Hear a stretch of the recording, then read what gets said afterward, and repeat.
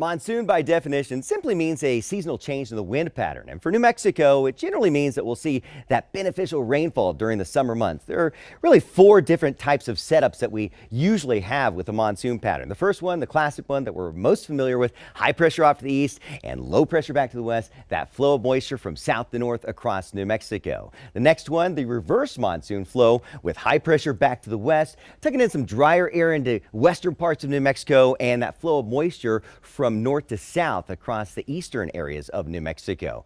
And then we have the Four Corners high setup, and that's generally when we have that high pressure over the Four Corners region, that flow of moisture from northeast to southwest across state. Oftentimes we'll see those backdoor fronts bringing in charges of moisture across New Mexico. And the one that we don't like to see is the extreme high monsoon setup, and that's when we have this strong high pressure system of the Four Corners region that cuts off that monsoon flow and makes most of us hotter and drier.